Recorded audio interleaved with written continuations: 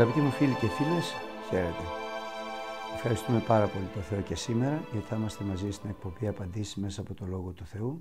Είναι αυτή η εκπομπή μέσα από την οποία σχολιάζουμε με αγάπη Χριστού μέσα από το Λόγο του Θεού και, μέσα, και μόνο μέσα από το Λόγο του Θεού δικά σας σχόλια, παρατηρήσεις, ερωτήσεις, απόψεις, διαφωνίες τις οποίες στέλνετε και σας παρακαλούμε να συνεχίσετε να στέλνετε και ευχαριστούμε πάρα πολύ το Θεό για σας με email στη διεύθυνση που αναγράφετε τώρα στις οθόνες σας. Σήμερα θα ασχοληθούμε με τον Jim από την Αυστραλία, ο οποίος ε, μας λέγει, στα αγγλικά βέβαια εγώ το διαβάζω στα ελληνικά, ε, σας χαιρετώ, ο Θεός να σας ευλογεί, έχω μία δύσκολη ερώτηση τουλάχιστον για μένα, χρειάζομαι να λάβω το Πνεύμα το Άγιο, δηλαδή να μιλάω ξένες γλώσσες για να είμαι σωσμένος. Η απάντηση αγαπητέ Τζίμι είναι μέσα από το Λόγο του Θεού ως εξής.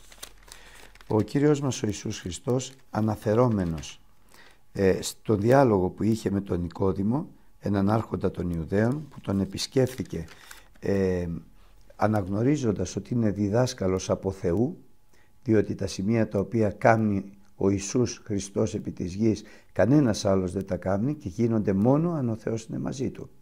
Και ο Κύριος μας του είπε μια μεγάλη αλήθεια.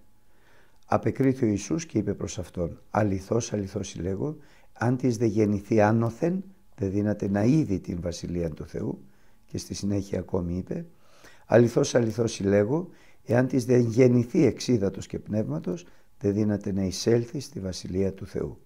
Γιατί το γεγεννημένο εκ της σαρκός είναι σάρξ και γι' αυτό δεν μπορεί να εισέλθει στη Βασιλεία των ουρανών. Το γεγεννημένο όμως εκ του πνεύματος είναι πνεύμα.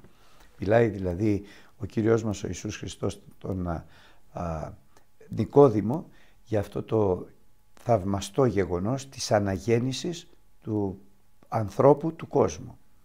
Όπου αναγέννησης είναι η αλλαγή πλήρως του σώματος, της ψυχής και του πνεύματος του ανθρώπου. Ενώ ήταν μέχρι εκείνη τη στιγμή ο άνθρωπος σάρκα, γεννημένο εκ της σαρκός είναι σάρκα, το γεγενμένο εκ του πνεύματος είναι πνεύμα. Γίνεται ο άνθρωπος δηλαδή πνευματικό, πνευματικό όν, πνευματική ύπαρξης, πνευματικός άνθρωπος, παιδί του Θεού, καθώς μας βεβαιώνει ο Χριστός, όσοι εδέχθησαν τον, τον Ιησούν Χριστόν, εις αυτούς ο Θεός έδωκε εξουσία να γίνουν τέκνα Θεού. Αναγέννησης είναι ένα γεγονός το οποίο γίνεται από το Λόγο του Θεού και το Πνεύμα του Άγιο. Με το Λόγο του Θεού και δια της Αναστάσεως δηλαδή όταν ο άνθρωπος πιστεύσει στην Ανάσταση του Ιησού Χριστού, τότε σπέρμα Άγιο, λόγος του Θεού εισέρχεται στην καρδιά του ανθρώπου και διαπνεύματος Αγίου ζωοποιεί και γεννιέται μέσα στο σώμα του ανθρώπου ένας καινούριος άνθρωπος, ο πνευματικός άνθρωπος. Ο άνθρωπος όπου οι επιθυμίες σαρκός του είναι διαφορετικές, δηλαδή μπορεί ένας άνθρωπος να είναι δεμένος με επιθυμίες και με πάθη και αμαρτίες, όπως παράδειγμα τους χάρη ο αλκοολισμός, τα ναρκωτικά ε, και οποιαδήποτε άλλο πάθος, σαρκικό πάθος, μπορεί να δέσει τον άνθρωπο ως προς τη σάρκα του. Ο Θεός αλλάζει με την αναγέννηση, με το Λόγο του Θεού και το Πνεύμα το Άγιο, αλλάζει το χυμισμό της σάρκας του ανθρώπου και ενώ ήταν μπεκρής και έλεγε πάντοτε εγώ δεν θα ξαναπιώ και δεν θα ξαναπιώ αλλά κάθε πρωί ξαναξεκίναγε κάποια στιγμή έρχεται ο Χριστός και τον ελευθερώνει εντελώς. Το ίδιο με τα ναρκωτικά. Θυμάμαι μια φορά στην εκκλησία της Κηφισιάς, πολλές φορές έχει συμβεί αλλά μία μου έχει κάνει πολύ μεγάλη εντύπωση. Είχε μπει ένα παιδί που ήταν από αυτά που λένε οι άνθρωποι τελειωμένος. Ούτε να ακούσει, ούτε να βλέπει, ούτε να περπατήσει μπορούσε, λιώμα ήταν. Μπήκε μπροστά και μου είπε ότι θέλω να ελευθερωθώ. Ε, βέβαια εγώ δεν πίστεψα ότι μπορεί σε αυτή την κατάσταση ένας άνθρωπος να λάβει κάτι από τον Κύριο, αλλά του είπα ζήτησε το Χριστό παιδί μου. Και ο Χριστός είναι δυνατός να κάνει τα πάντα και να σε ελευθερώσει. Και εκείνη τη στιγμή έκραξε αυτό το παιδί και μου έκανε πολύ μεγάλη εντύπωση. Νεαρός ήταν 25, 30, δεν ήταν πάνω από 30. Έκραξε στο Θεό και φώναξε «Χριστέ μου» και μάλιστα δεν είπε «Χριστέ μου», «Θεούλη μου, σώσε με». Και μετά από αυτό σαν να ξύπνησε. Συνήλθε αμέσως. Κοίταγε δεξιά, κοίταγε αριστερά, σηκώθηκε, περπάταγε και γέμισε η καρδιά του χαρά και άρχισε να τρέχει γύρω γύρω στην εκκλησία και να φωνάζει «Με ελευθέρωσε, είμαι ελεύθερος, δεν έχω τίποτα». Και ήρθε πάλι κοντά μου και μου έδωσε μια χούφτα ναρκωτικά από χασίσι, ηρωίνη που τα είχε μόλις αγοράσει. Εγώ βέβαια δεν ήξερα πολλά πράγματα, ήταν από τις πρώτες φορές που έζησα μια τέτοια εμπειρία. Τα πήρα γρήγορα, τα πέταξα μέσα στην τουαλέτα ε, από τότε το παιδί αυτό είναι τελείως ελεύθερο. Γιατί με την αναγέννηση τι έκανε ο Χριστός, τον ελευθέρωσε από όλα τα πάθη της σάρκας. Αλλά δεν κάνει αυτό, ελευθερώνει και την ψυχή του ανθρώπου, γιατί ο άνθρωπος είναι τριαδικός. Είναι σώμα, ψυχή και πνεύμα.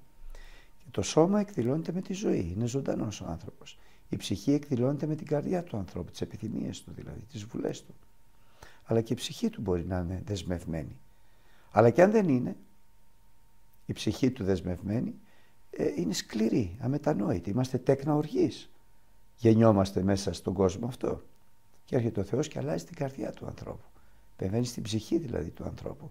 Και από καρδιά σκληρή και αμετανόητη που δεν μπορεί να μετανοήσει και να ζητήσει συγγνώμη ούτε από το Θεό ούτε από τους ανθρώπους. Αυτοδικαιωμένη. Γίνεται μια καρδιά απαλή και τρυφερή που εύκολα μετανοεί, εύκολα ζητάει συγγνώμη και μια καρδιά συντετριμένη που αγαπάει το Θεό και τους αδερφούς του και τους ανθρώπους. Αλλά με την αναγέννηση επεμβαίνει ο άνθρωπος και στο πνεύμα του ανθρώπου που εκδηλώνεται με τη λογική του. Είναι λογικός ο άνθρωπος. Όπως είπαμε τριαδικός, έχει και πνεύμα και το πνεύμα του ανθρώπου εκδηλώνεται με το να έχει λογική που μόνο ο άνθρωπος από όλα τα δημιουργήματα του Θεού στη γη αυτή έχει λογική. Όλα τα ζώα έχουν ένστικτο. Ο άνθρωπος έχει λογική, γι' αυτό έχει και λόγο. Ακούει, μιλάει. Και ο Θεός επεμβαίνει και, στην, και στο πνεύμα του ανθρώπου και αλλάζει τη λογική του. Δίνει νουν Χριστού. Το πνεύμα του δεν είναι αλαζονικό, υπερήφανο, άγριο, σκληρό, αλλά και το πνεύμα του είναι απαλό και τρυφερό, ταπεινό. Και μπορεί πλέον ο άνθρωπος ο αναγεννημένος να συγχωρεί. Όχι μόνο να ζητάει συγχώρεση επειδή αλλάζει την ψυχή του και την καρδιά του, αλλά μπορεί και να συγχωρεί, μπορεί να ταπεινώνεται. Έχει άλλη λογική. Αυτός δε ο άνθρωπος, εάν πιστεύσας και βαφτιστείς, εάν αφού πίστεψε βαφτιστεί, τότε σώζεται. Καθώς λέει η Γραφή, αν πιστεύσεις την καρδία σου και ομολογείς με το στόμα σου ότι ο Ιησούς Χριστός είναι ο Κύριος, τότε θα σωθείς. Ο άνθρωπος λοιπόν αφού αναγεννηθεί θα πρέπει να σωθεί. Θα πρέπει δηλαδή να βαφτιστεί εν πνεύματι, ε, να βαφτιστεί εν ύδατη, η σάφεση αμαρτιών. Να γίνει καθώς έγινε σύμμορφος του θανάτου του Χριστού, να γίνει και σύμμορφος της Αναστάσεως, αφού προηγουμένως θάψει τον άνθρωπο, τον παλιό, δια του βαφτίσματος. Ώστε όλες οι αμαρτίες να φύγουν στα βάθη των θαλασσών και ο άνθρωπος πια ελεύθερος, βγαίνοντας από το νερό, να μπορεί να ζήσει μια καινούργια ζωή αναστάσεως. Άλλωστε το βάφτισμα, όπως έχουμε πει πάλι, και λέει ο Λόγος του Θεού, είναι μαρτυρία αγαθής συνειδήσεως. Ελευθερώνεται δηλαδή η συνείδηση του ανθρώπου από έργα πονηρά και μαρτυρά πια ο άνθρωπος ότι είναι ελεύθερος, συγχωρεμένος από το Θεό, αναγεννημένος και ευλογημένος, έτοιμος για τη Βασιλεία των Ουρανών. Άρα λοιπόν όποιος αναγεννηθεί και αλλάξει η ζωή του και βαφτιστεί εν είδα στο όνομα του Χριστού, το βέβαιο είναι ότι είναι δυνατόν να εισέλθει στη Βασιλεία των Ουρανών εάν υπομείνει έως τέλος. Γιατί από εδώ και πέρα ξεκινάει η εν Χριστώ ζωή του. Δηλαδή εισήλθε δια της στενής πύλης και τώρα πρέπει να περπατήσει την τεθλιμένη οδό. Αλλά η τεθλιμένη οδός έχει θλίψεις. Στον κόσμο θα έχετε θλίψεις. Και πρέπει να ζήσει τώρα ο άνθρωπος αυτός σε ένα αγιασμό και τιμή. Η συμπακοή του Λόγου του Θεού. Εδώ τώρα χρειάζεται κάτι ο άνθρωπος. Ο αναγεννημένος, ο σωσμένος, που είναι έτοιμος για την αρπαγή της Εκκλησίας και για τη Βασιλεία των Ουρανών. Χρειάζεται αυτό που λέει ο Χριστός, θέλετε λάβει δύναμη όταν το Πνεύμα το Άγιο θα έρθει πάνω σας. Και γιατί χρειαζόμαστε το Πνεύμα το Άγιο, λέγει η Γραφή, το σημαντικότερο γεγονός είναι ο αγιασμός.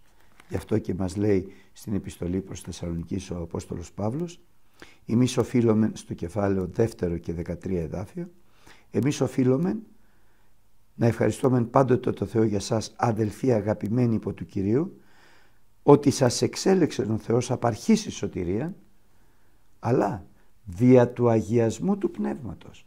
Γιατί το Πνεύμα του Άγιο αγιάζει τον άνθρωπο και της πίστεως της αληθείας. Ακόμη ο Απόστολος Πέτρος στην πρώτη επιστολή λέει προς τους εκλεκτούς στέλνει την επιστολή του προς τους διασπασμένους στον πόντο εκλεκτούς κατά πρόγνωση Θεού Πατρός δια του αγιασμού του Πνεύματος δηλαδή το Πνεύμα το Άγιο αγιάζει τον άνθρωπο εις υπακοήν του Ευαγγελίου του Ιησού Χριστού και εις ραντισμόν του αίματος του Ιησού Χριστού. Δηλαδή το Πνεύμα το Άγιο μας αγιάζει και μας οδηγεί, γιατί ο άνθρωπος πια οδηγείται και μάλιστα λέει η Γραφή όποιος διοικείται από το Πνεύμα το Άγιο είναι αληθώς παιδί Θεού. Άρα λοιπόν το Πνεύμα το Άγιο μας οδηγεί, μας αγιάζει και δια του αγιασμού μας οδηγεί και μας διοικεί να πάμε να υποτασσόμεθα εις υπακοήν του Ευαγγελίου του Χριστού και εις μετάνοιαν και εραντισμόν του αίματος του Ιησού Χριστού. Άρα το Πνεύμα του Άγιο, ο Παράκλητος, το Πνεύμα της Αληθείας, μας το στέλνει ο Κύριος για να μπορούμε να υπομείνουμε ως τέλος. Για να μπορούμε να σταθούμε, για να μπορούμε να περπατήσουμε. Γιατί η ζωή μέσα στον κόσμο αυτό εν Χριστώ Ιησού δεν είναι απλή. Χρειάζεται απόφασης, πρόθεσης, αλλά χρειάζεται και δύναμης. Και το Πνεύμα του Άγιο, αγαπητοί μου φίλοι και φίλες, έχει χαρακτηριστικά. Το δεν είναι απλώς μιλάμε ξένες γλώσσες και έτσι απλώς το κουβεντιάζουμε. Λέει βεβαίως ο Λόγος του Θεού, ο λαλόν γλώσσα αναγνώριση τον εαυτόν οικοδομή. Αλλά το Πνεύμα του Άγιο έχει χαρακτηριστικά σημαντικά τα οποία βοηθάνε τον άνθρωπο, στηρίζουν τον άνθρωπο για να φτάσει μέχρι το τέλος. Λέγει λοιπόν ο Λόγος του Θεού για τα χαρακτηριστικά του Πνεύματος του Αγίου. Το Πνεύμα του, διαβάζω από τον Ισαΐα, ΙΑ κεφάλαιο, 11 κεφάλαιο. Και το Πνεύμα του Κυρίου θέλει να αναπαθεί από αυτόν πρώτον. Πνεύμα σοφίας και συνέσεως. Άρα το Πνεύμα του Άγιο δίνει σοφία και σύνεση στον άνθρωπο, δηλαδή σοφία να γνωρίζει το θέλημα του Θεού, να βάζει σε τάξεις τις πληροφορίες και τις γνώσεις που αποκτά ο άνθρωπος από το Λόγο του Θεού και το Πνεύμα του Άγιο και σύνεσης και να μπορεί να τις εκτελεί. Δηλαδή ξέρω τι πρέπει να κάνω αλλά πρέπει να ξέρω και πώς και πότε πρέπει να το κάνω. Αυτό μόνο το Πνεύμα του Άγιο το κάνει. Δεύτερον, ε, τρίτον, πνεύμα βουλής και δυνάμεως. Το Πνεύμα του Άγιο δίνει στον άνθρωπο επιθυμία για τα πράγματα του Θεού. Γιατί η επιθυμία, το θέλει και το ενεργεί είναι παρακυρίου. Και το θέλει πώς έρχεται; Δια του Πνεύματος του Αγίου. Ο Θεός διεγείρει την καρδιά να θέλουμε το θέλημα του Θεού. Γιατί το Πνεύμα του Άγιο είναι πνεύμα βουλής αλλά και δυνάμεως. Το θέλει λοιπόν και το ενεργεί είναι παρακυρίου. Σοφίας ξέρω τι πρέπει να κάνω. Σύνεσης πώς και πότε πρέπει να το κάνω βουλή να θέλει να το κάνω, να θέλω να το κάνω και δύναμης να μπορώ να το κάνω. Ακόμη είναι και πνεύμα ευσεβίας και γνώσεως. Και όλα αυτά να γίνονται μέσα στο μυστήριο της ευσεβίας. Όχι να φεύγω από την υγιένουσα διδασκαλία, αλλά να μένω και να ορθω, όχι μόνο να ορθοτομώ το λόγο της αληθείας, της την αλήθεια του Ευαγγελίου, αλλά και να ορθοποδώ στο Ευαγγέλιο του Χριστού, στην αλήθεια του Ευαγγελίου του Ιησού Χριστού. Και γνώσεως και να γνωρίζω τι πρέπει να κάνω. Να γνωρίζω δηλαδή να έχω επίγνωση Θεού. Επίγνωση Ιησού Χριστού. Επίγνωση του θελήματος του Θεού. Επίγνωση της χάριτος του Χριστού. Και επίγνωση της κοινωνίας του Πνεύματος του Αγίου. Και τέλος φόβου Κυρίου. Γιατί ο άνθρωπος πρέπει και αλίμονος στον άνθρωπο που δεν περπατάει με φόβο Θεού. Φόβος του Θεού είναι που σε φύζει τον άνθρωπο. Αρχής σοφίας, φόβος Θεού. Άρα λοιπόν το να μιλάμε ξένες γλώσσες, δηλαδή να πληρούμεθα Πνεύματος Αγίου, γιατί ο Κύριος μας ο Ιησούς Χριστός είπε ότι ποταμίδα το ζώντος θέλουσε κρεύσει εκ της κοιλίας αυτού και έλεγε περί του Πνεύματος του Αγίου το οποίο έμελον να λαμβάνωσι οι πιστεύοντες. Όταν λοιπόν μιλάμε ξένες γλώσσες, δια Πνεύματος Αγίου δεν μιλάμε εμείς, το Πνεύμα του Άγιο μιλάει. Και τι σημαίνει αυτό, μέσα από την κοιλιά μας βγαίνουν τα ύδατα τα ζώντα. Πληρούμεθα Πνεύματος Αγίου, δηλαδή αυτό το ποτήρι έχει νερό. Αυτό είναι ο αναγεννημένος, έχει Πνεύμα Άγιο. Λίγο νερό, πολύ νερό, γεμάτο το ποτήρι με νερό, αλλά κάποια στιγμή και όσο περνάει ο καιρός φθήρεται η πίστη μας, η αφιέρωσή μας, ο ζήλος μας. Και χρειάζεται κάποιος να μας ανανεώσει τον εσωτερικό άνθρωπο. Και ξαφνικά το ποτήρι αυτό γίνεται πηγή ύδατο ζώντος. Αρχίζει και βγαίνει νερό από μέσα και ξεχυλίζει. Όταν το ποτήρι αυτό είναι βρώμικο, πώς θα το καθαρίσω; Ένας τρόπος που να καθαρίσει άμεσα είναι να γίνει πηγή υδατοζώντος, να βγει το βρώμικο και να μείνει το καθαρό. Αυτός είναι ο αγιασμός δια του πνεύματος. Η συμπακοήν του Ιησού Χριστού, του Ευαγγελίου του Ιησού Χριστού και η συμπακοήν του ραντισμού. Δηλαδή με φέρνει σε μετάνοια το Πνεύμα το Άγιο. Με ελέγχει. Με φέρνει σε μετάνοια με αποτέλεσμα να πηγαίνω στον Κύριο να ζητώ συγχώρεση και να ραντίζομαι το αίμα του Χριστού και να καθαρίζομαι. Όμως το Πνεύμα το Άγιο αγαπητή, αγαπητέ Τζίμι από την Αυστραλία κάνει πολλά πράγματα στον άνθρωπο και θα ήθελα να αναφερθώ σε αυτό. Πρώτον λέγει στην επιστολή του Αποστόλος Παύλος προς τους Ρωμαίους στο 8ο κεφάλαιο και στο 26 εδάφιο ο Σάφτος δε και το πνεύμα συμβοηθεί στα ασθενεία Σιμών επειδή το τι να προσευχηθόμενος πρέπει εμείς οι άνθρωποι δεν ξέρουμε. Αλλά το Πνεύμα το Άγιο υπερικετεύει, υπέρεν την χάνει λέει, και αυτή τη λέξη είναι φοβερή. Υπερικετεύει, ερμηνεύεται, υπερημόντια στεναγμών αλαλήτων. Δηλαδή το Πνεύμα το Άγιο, όταν πληρούμεθα Πνεύματος Αγίου και μιλάμε ξένες γλώσσες, το οποίο το να μιλάμε ξένες γλώσσες δεν είναι χάρισμα, είναι η πλήρωση του Πνεύματος του Αγίου που γίνεται δια, δια, της, ε, δια της ομιλίας ξένων γλωσσών. Άλλο το χάρισμα ήδη γλωσσών που μιλάς πολλές γλώσσες και διάφορες όπως είχε ο Απόστολος Παύλος που είπε ότι εγώ λαλώ περισσότερες γλώσσες παραπάντα σημάς. Πιο πολλές γλώσσες από όλους σας. Αυτό είναι το χάρισμα ήδη γλωσσών. Η γλωσσολαλιά όμως είναι στο σημείο ότι βαφτίστη, σε βάφτισε ο Χριστός με Πνεύμα Άγιο. Δηλαδή το σημείο της πρώτης πλήρωσης. Αυτή είναι η βάφτιση με Πνεύμα Άγιο. Γιατί μετά ακολουθούν συνεχόμενες πληρώσεις Πνεύματος Αγίου καθώς μιλάμε ξένες γλώσσες και προφητεύουμε ακόμη δια Πνεύματος Αγίου. Γι' αυτό και ο Απόστολος Παύλος λέει θέλω πάντες να λαλείτε γλώσσες. Γιατί ο λαλόν γλώσσα αναγνώρισε τον εαυτόν οικοδομή. Όταν λοιπόν είσαι σε ασθένεια, σε αδυναμία, οποιασδήποτε μορφής, πήγαινε στο ταμείο σου μέσα, κλείς την πόρτα, πληρώσου πνεύματος Αγίου και ο παράκλητος, το πνεύμα της αληθείας, που είναι ο ερευνών τα καρδίας και εξεύρει το, το φρόνημα του Θεού,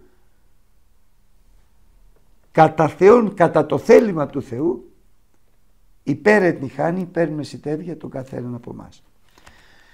Αλλά πέραν τούτου, το Πνεύμα το Άγιο ενεργεί πολυτρόπος και παραδείγματος χάρη. Διαβάζω από το 15ο κεφάλαιο του κατά Ιωάννη Ευαγγελίου. Ο δε παράκλητος το Πνεύμα το Άγιον το οποίο θέλει πέμψει ο πατήρ εν το ονόματί μου, εκείνος θα σας διδάξει τα πάντα, γιατί είναι γραμμένος εσείς είστε διδαχτοί πάντες του Πνεύματος του Αγίου, θα σας διδάξει τα πάντα και θα σας υπενθυμίσει όλα όσα εγώ είπα προς εσάς. Θα σας υπενθυμίσει το Λόγο του Θεού. Γι' αυτό και ο Κύριος μας ο Ιησούς Χριστός λέει όταν σας καλούν να απολογηθείτε μην μεριμνάτε, μην προμεριμνάτε τι θα πείτε. Αλλά πηγαίνετε προσευχηθείτε και εκείνη την ώρα το Πνεύμα του Άγιο θα σας διδάξει αυτά που πρέπει να πείτε και μάλιστα το ίδιο το Πνεύμα του Άγιο ο Παράκλητος θα μιλάει αντί, αντί για σας ή για λογαριασμό σας. Άρα σας, μας διδάσκει, μας υπενθυμίζει και μιλάει για λογαριασμό μας. Ακόμη.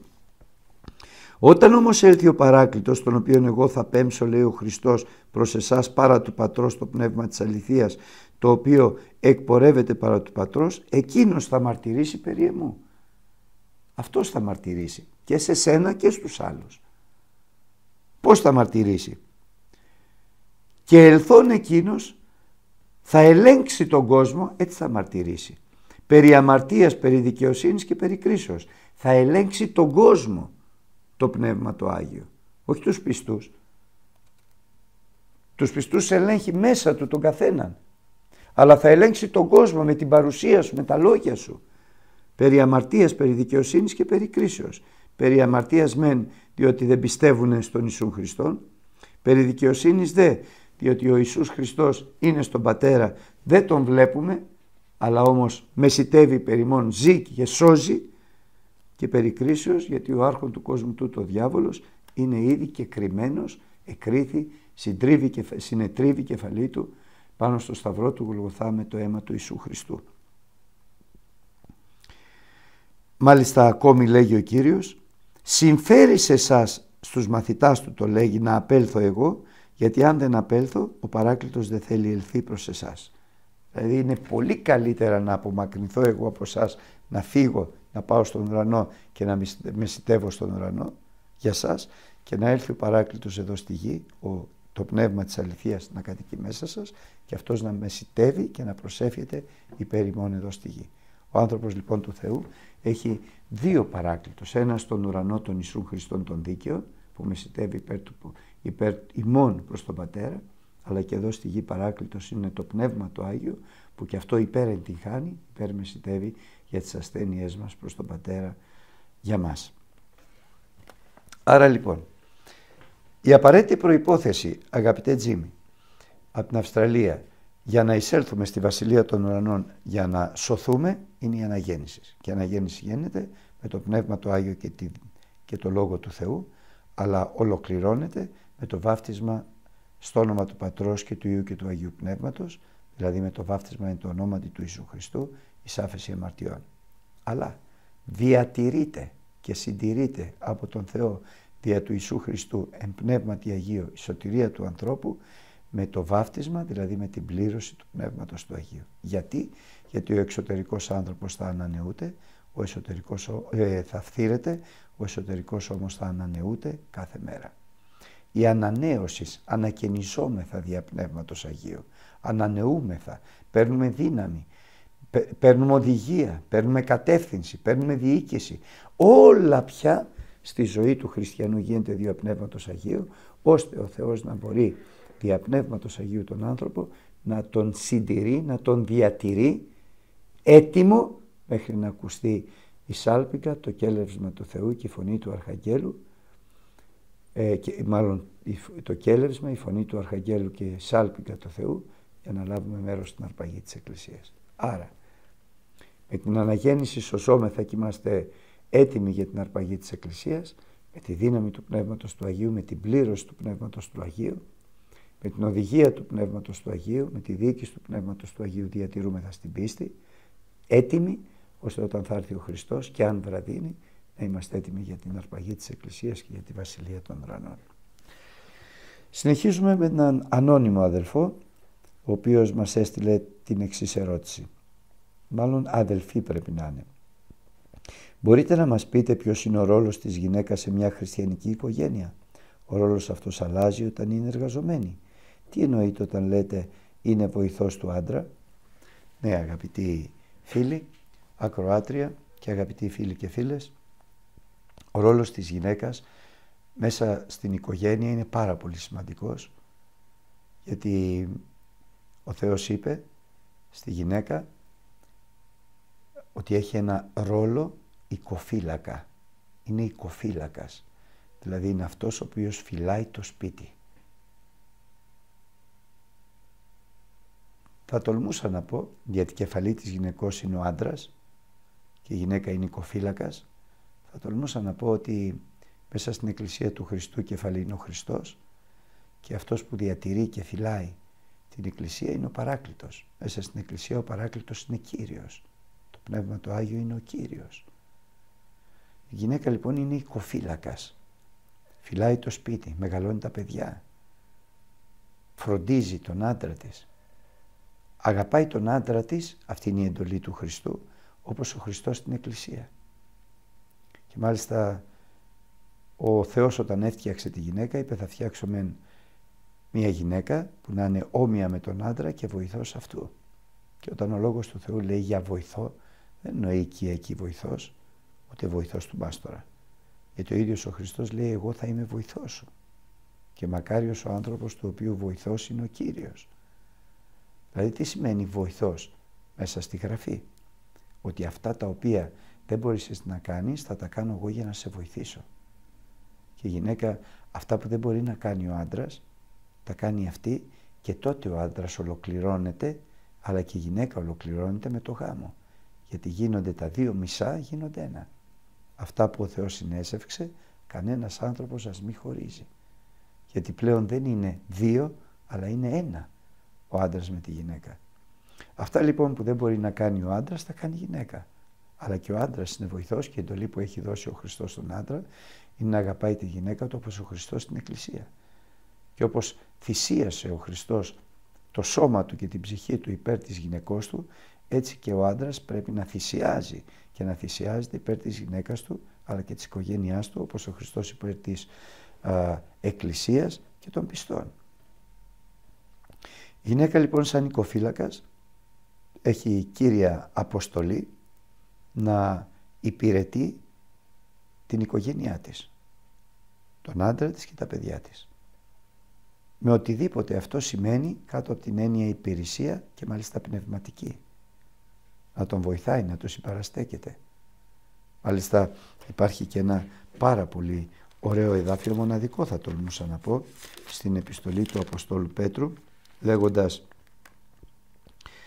αγαθοποιούσε στη γυναίκα να αγαθοποιούν και μη, μη φοβούμενε μηδεμίαν πτώηση.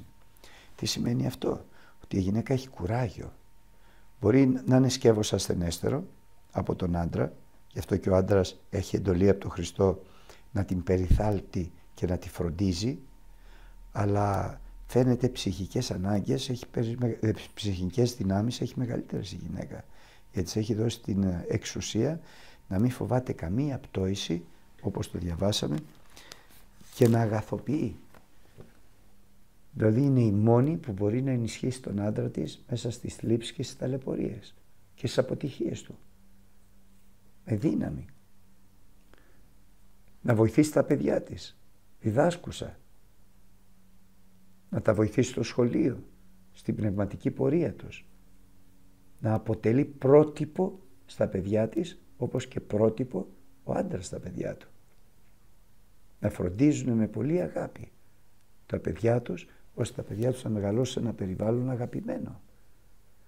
Η κυρία εντολή του Κυρίου μας στη γυναίκα είναι να υποτάσσεται στον άντρα και να σέβεται τον άντρα της.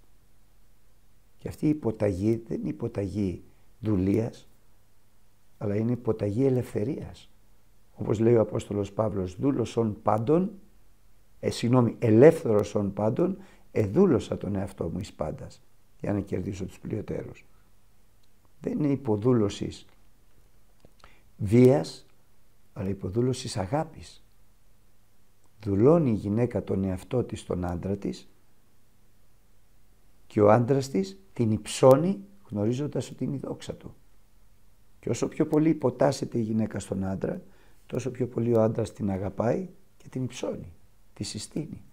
Και όσο πιο πολύ ο άντρας αγαπάει και συστήνει και υψώνει τη γυναίκα του, στα παιδιά του και παντού γιατί ξέρει ότι είναι η δόξα του. τόσο πιο πολύ η γυναίκα υποτάσσεται και αγαπάει τον άντρα της. Γιατί ξέρει ότι είναι η κεφαλή της. Και έτσι μέσα στο πέρασμα του χρόνου ο άντρας αγαπάει όλο και περισσότερο τη γυναίκα και η γυναίκα όλο και περισσότερο τον άντρα. Και είναι μια ευτυχισμένη οικογένεια με αποτέλεσμα υγιή, ευλογημένα και άγια παιδιά. Τώρα βέβαια όταν μια γυναίκα εργάζεται. Τι σημαίνει; Σημαίνει ότι επεμβαίνει στο έργο του ανδρός, συμμετέχει στο έργο του ανδρός, βοηθώντας τον άντρα για να φέρει περισσότερα χρήματα στο σπίτι τα οποία είναι αναγκαία, αν είναι αναγκαία. Εάν λοιπόν συμμετέχει και βοηθάει η γυναίκα τον άντρα με τη δουλειά της, τότε και ο άντρας έχει υποχρέωση να βοηθάει και να συμμετέχει στη δουλειά της γυναίκας. Δηλαδή να τη βοηθάει στο σπίτι, να μπορεί να πλένει πιάτα, ακόμη και να μαγειρεύει αν χρειαστεί, να φροντίζει τα παιδιά και γίνονται ακόμη πιο αγαπημένοι τότε μέσα στην αδυναμία την οικονομική. Γιατί καλό είναι στη γυναίκα να μην εργάζεται, αλλά αν χρειαστεί, μόνο αν χρειαστεί να μπορεί. Να μπορεί και με γνώσεις, αλλά και με ταπείνωση. Και τότε η οικογένεια είναι και πάλι ευτυχισμένη και πάλι ευλογημένη. Χωρίς να χάσουν όμως καθένας το δρόμο του και τις ε, υποχρεώσεις του, αλλά και το έργο τους. Ο άντρας εργάζεται έξω από το σπίτι, φροντίζοντας τη γυναίκα του, και η γυναίκα εργάζεται μέσα στο σπίτι υπηρετώντας τον άντρα της. Και το Ευαγγέλιο του Ιησού Χριστού μέσα από την υπακοή, όπως είπαμε και, και τον αγιασμό του Πνεύματος του Αγίου, το, το, η οικογένεια αυτή προχωράει από αγάπη σε αγάπη, από πίστη σε πίστη, από δόξα σε δόξα και η οικογένεια αυτή έχει πολύ καλό καρπό. Και ο καρπός μένει, γιατί είναι καλό δέντρο. Και εδώ αγαπητοί μου φίλοι και φίλες, η ώρα μας τελείωσε. Σας θυμίζω ότι παρακολουθείτε την εκπομπή «Απαντήσεις μέσα από το Λόγο του Θεού».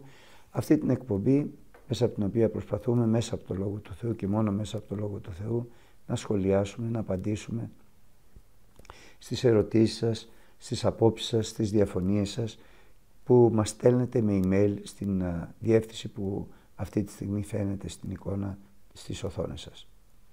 Σας ευχαριστούμε πάρα πολύ που μας παρακολουθήσατε, ευχαριστούμε πάρα πολύ το Θεό για σας και για όλα και σας ευχόμαστε κάθε ευλογία πνευματική στα επουράνια στη ζωή σας δια του Ιησού Χριστού του Κυρίου Αμήν.